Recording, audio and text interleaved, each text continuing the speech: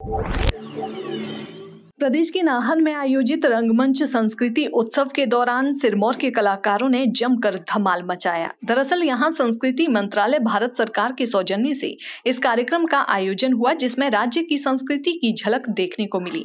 लोक रंगमंच संस्कृति उत्सव में सिरमौर के लोक कलाकारों ने पारंपरिक वेशभूषा में सज धज कर अपने क्षेत्र की संस्कृति का बखूबी परिचय दिया। संस्कृति मंत्रालय भारत सरकार के सौजन्य से आयोजित इस कार्यक्रम में उपायुक्त राम कुमार गौतम ने बतौर मुख्य अतिथि शिरकत की।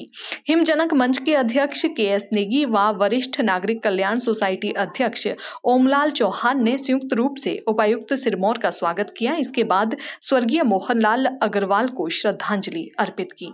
कार्यक्रम की शुरुआत वंदे मातरम से की गई। इसके पश्चात कलाकारों ने नाटी, रासा जैसे कई पारंपरिक नृत्य पेश कर खूब वाहवाही लूटी और यहाँ मौजूद दर्शक झूम उठे। उपायुक्त सिरमौर ने बताया कि लोग संस्कृति का संरक्षण करना अति आवश्यक है ताकि ये विलुप्तीकरण की ओर न बढ़े। युवा वर्ग को लोक संस्कृति के माध्यम से शिक्षित करना होगा।